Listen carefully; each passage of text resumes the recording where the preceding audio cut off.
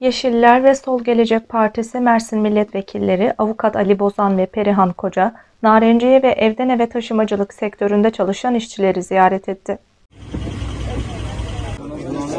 Sabani kışıklarında başlayan programa HDP Mersin İl Eş Başkanı Bedriye Kuş, Akdeniz İlçe Başkanı Nizar Esen ve Güvencesiz İşçiler Derneği Başkanı Nedim Aydınalp de katıldı.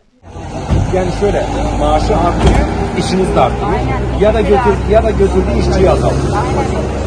Bunun çaresi İlk olarak Narenciye işçileriyle bir araya gelen Yeşil Sol Parti milletvekilleri tüm işçilerle selamlaşıp sorun ve taleplerini dinledi. Ça- çare şu, çare dernek, çalışacak, işçiler. Hepsi bir olacak.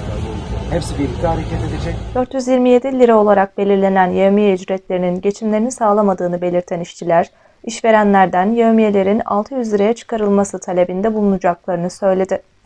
Herhangi bir karar alırsanız gerekirse her gece Taleplerinin karşılanmaması durumundaysa işçiler grev kararı alacaklarını vurguladı. Buna üye, işçi ne buna üye? Ev dernek ne teneye çalışayım? Ev dernek ya işçi ya işçi. Jibo ve MDB mesela ev işte 400 milyon eve distini, yömiye distini. 400 milyon çiye. Narenciye işçilerin ardından evden eve taşımacılık sektöründe çalışan işçileri ziyaret eden milletvekilleri ağır koşullarda güvencesiz çalışan işçilerin sorunlarını dinledi. Dört kişi gidiyorlar haftada bir gece eve geliyor. Gelip hemen güne çıkıyor.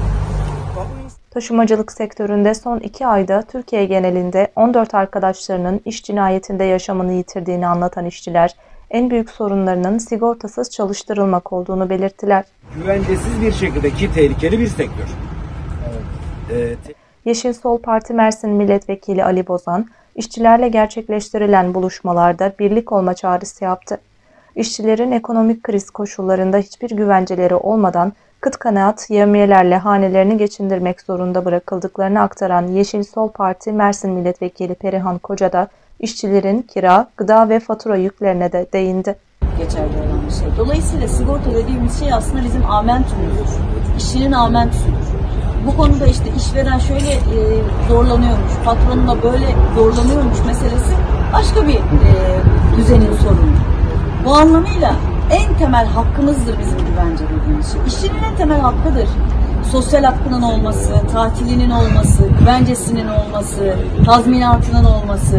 Bunlar en temel haklı, haklarıdır. Ancak e, gittiğim yerlerde biraz evvel de söylemiştim. En temel insani koşullarda yaşamak için bile ne yazık ki mücadele etmemiz gerekiyor e, onurlu bir şekilde yaşamak için ne yazık ki mücadele etmemiz gerekiyor. Aslında ne yazık ki derken iyi ki mücadele etmemiz gerekiyor. Hani mücadele bizler açımızdan demin söylediğim yerden de bir e, amentü. Dolayısıyla işçilerle e, bu haklarımızı kazanabilmek için yan yana gelmeye ihtiyacımız var. Birlik olmaya ihtiyacımız var. Çünkü dediğim gibi sorunlarımız ortak.